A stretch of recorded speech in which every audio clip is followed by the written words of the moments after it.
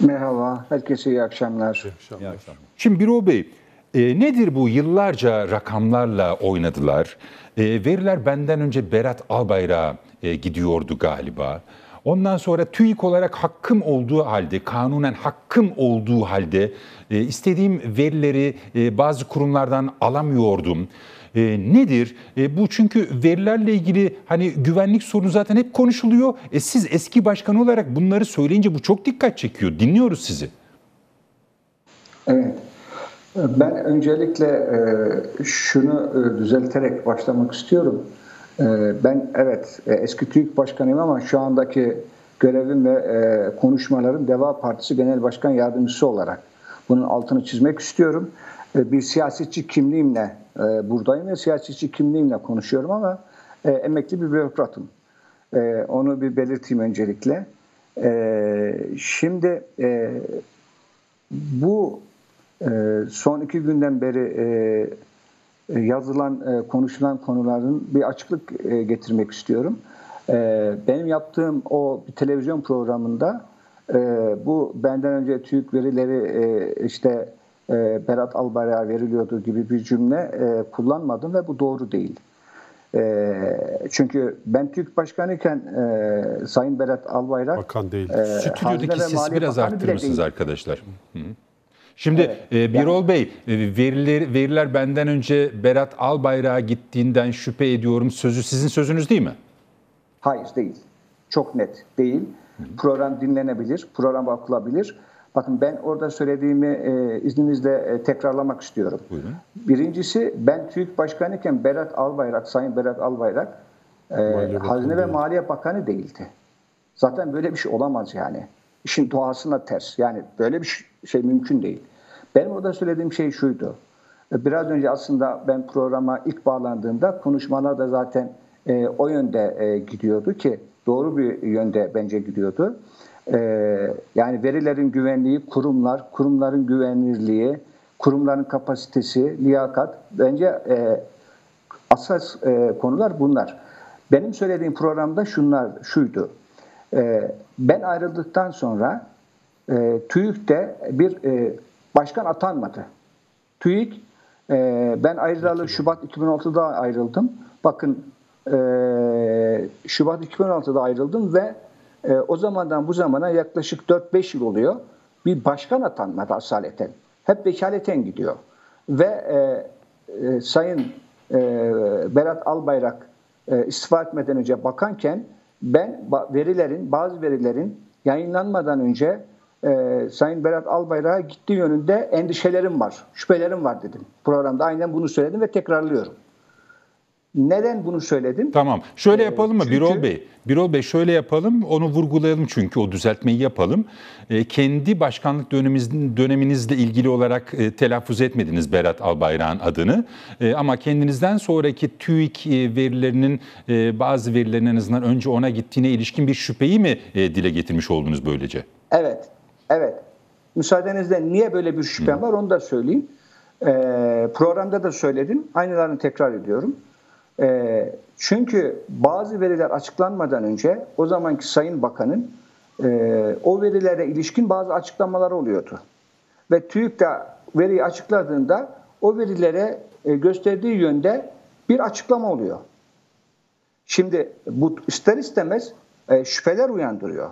Yani siz bir kurumdan sorumlu bakan olacaksınız ve o veri açıklamadan birkaç gün önce siz o konuda bir açıklama yapacaksınız. Sonra o kurum veriyi açıklayacak ve sizin açıkladığınız yende şekilde neredeyse hemen hemen aynısı olacak. Şimdi bu doğal olarak bir şüphe uyandırıyor. Ee, ben de bu şüphemi dile getirdim ve e, endişelerim var, şüpheleniyorum dedim. Şimdi bu TÜİK'in tarafsızlığı ve bağımsızlığını zedeleyen bir durumdur. Bu asla kabul edilemez dedim. Aslında işin doğası şudur Gökmen Bey. TÜİK veya istatistik kurumları aynı zamanda iktidarların icraatını ölçer. Bugün TÜİK'in açıkladığı büyüme verisi, enflasyon verisi, istihdam verisi, sanayi üretim verisi, gelir dağılımı verileri bu tür verilerin neredeyse tamamına yakını iktidarların performansını gösterir. Şimdi bir iktidarın performansını gösterecek veriler üreteceksiniz ama sizden sorumlu bakan da o e, e, ekonomik performanstan sorumlu, ekonomiden sorumlu bakan olacak. Bu işin doğasına aykırı zaten. Bu yüzdendir ki Avrupa Birliği e, bunu önlemeye çalışıyor. Ve Avrupa Birliği bununla ilgili şöyle bir uygulama getirdi. Bunu ben birkaç defa söyledim ama gözden kaçıyor bu. Eğer istatistik kurumları bir bakana bağlıysa, bir başbakana bağlıysa, başbakan bile olsa, istatistik kurumlarına o bakan veya başbakandan bir yazılı belge alıyor. Kurumun işlerine karışmadığına dair. Avrupa Birliği bu uygulamaya geçmişti 2015-16 yılında. Ve bazı ülkelerde de bu yüzden istatistik kurumları hükümete değil parlamentoya bağlı hale gelmeye başladı bazı ülkelerde. Dolayısıyla istatistik kurumların bağımsızlığı ve tarafsızlığı çok önemli. Eğer siz bir kurumu, şu anki uygulamada gene Hazine Maliye Bakanlığı'na bağlı, bu doğru değil. Böyle bir durumda siz kurumun tarafsız ve bağımsız çalışabileceğini düşünüyor musunuz? Peki Böyle bir Birol şey Bey? Birol Bey sizin açıklamanızda vurguladığınız bir başka husus da şu. E, TÜİK olarak kanunen hakkım olduğu halde bir takım veriler verilmiyordu. O ne? Evet doğru. Şöyle, e, TÜİK'in e, kendi kanunu gereği e, bütün kamu kurumları istatistik kurumuna bilgi vermekle yükümlüdür. Bu özel bir kanundur ve çok açık ve nettir. Şimdi bütün bu e, açık ve net hüküm olmasına rağmen e, o zamanki e, ben e, başkan olduğumdan itibaren e, kamu kurumların tuttukları kayıtlardan yani onlara idari kayıt diyoruz. İdari kayıtların geliştirilmesi ve TÜİK'le paylaşılması için çok çalıştım. Niye? Çünkü gelişmiş modern istatistik ofislerinin hepsinde aslında e, temel veri idari kayıtlardır. Mesela Hollanda İstatistik Ofisi hiç anket yapmaz biliyor musunuz? Neredeyse hiç anket yapmaz. Hepsini idari kayıtlardan alır. Kanada İstatistik Ofisi çok çok az e, anket yapar. Çünkü e, zaten idari kayıtlarda yeterince bilgi var artık. Bunlar önemli olan bunları almakla bunları bir e, istatistiğe ve veriye dönüştürmektir. Şimdi ben de bu amaçla bütün kurumlara e, işbirliğine gidip kurumlarla çok güzel bazı kurumlarla çalışma yaptık. O zamanki mesela Merkez Bankası ile çok güzel e, başkan yönetiminde çok güzel çalışmalar yaptık. Çok güzel ilerlemeler kaydettik. Ama Maliye Bakanlığı ile bir dirhem ilerleyemedik. Niye ilerleyemedik? Çünkü aslında temel veri kaynağı gelir dairesinin ürettiği KDV beyannameleridir. Gelir ve kurumlar vergisi beyannameleridir. Kanunda açık hüküm olmasına rağmen biz bunları defalarca istedik.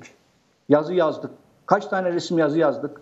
Ben kendim bir fiil e, gittim defalarca görüştüm, konuştuk ama her seferinde bir engel çıkartılarak bu veri verilmedi. Önce vergi usul kanundaki bir hüküm e, gösterilerek veri verilmedi. Biz de bizim kanundaki hükmün özel kanun olduğunu ve bunu vermeleri gerektiğini söyledik. Sonra madem öyle kanun değişikliği yapalım, meclise gidelim, mecliste kanun değiştirelim vergi usul kanununda. Tamam dediler, gittik. Onu yapmak için meclise gittik ama mecliste o kanun görüşülüyorken o zamanki Maliye Müsteşarı Naci Bey, Naci Abbas sonra biliyorsunuz bakan oldu, şimdi Merkez Bankası Başkanı ve engel oldu. Ve o kanunun meclisten geçmesine de engel oldu. Ve e, benim başkanlık yaptığım sürece 4,5 yıl boyunca istediğimiz verileri biz Maliye Bakanlığı'ndan alamadık. Peki. Ve ben ayrıldıktan 2-3 ay sonra hı hı. o veriler birdenbire hiçbir kanun değişiklik olmadan ama hiçbir şey olmadan birdenbire o veriler verilmeye başlandı. Aslında bu e, bunu şunun için örnek verdim. Kamu kurumlarında bazen bürokratların e, bazen e, işte bu tür yaklaşımların çok sıkıntı yarattığını tamam. ve aslında çok şeyi engellediğini göstermek için. Tamam. Bir